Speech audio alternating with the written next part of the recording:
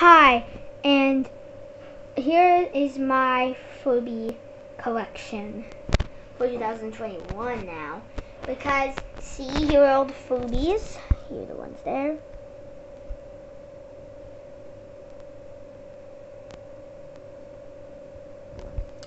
And down here.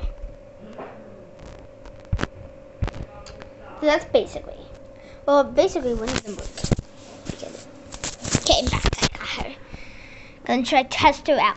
Okay, let's just test.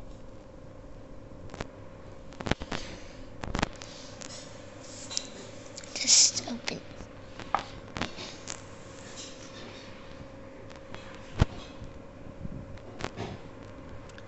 Okay.